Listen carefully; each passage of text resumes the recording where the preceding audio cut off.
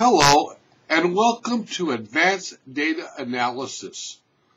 Uh, I am Dr. Jeff Kritzer, and this is the third uh, in a series offered by Learn.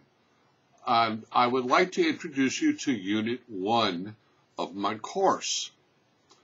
Uh, the first thing is I want you to get the big picture.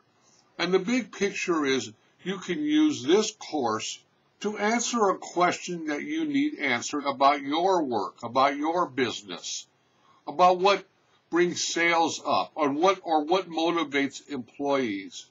So what I want you to do is to think of the question that you would like this course to answer for you. And as this course develops over the month, you will be give, given and taught the tools that you need to answer your research question. Start off by thinking about what you want answered in this course and submit it under the discussion thread, the big picture. And then I want you to go through and look at the readings for the course.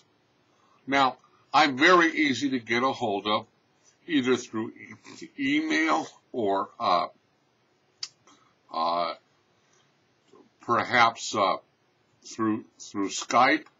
Uh, all you need to do is send me a message, and I check my emails quite often. I'm really here to help you answer your questions and help you get something out of this course.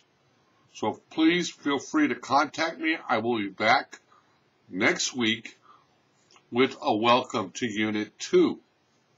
Bye.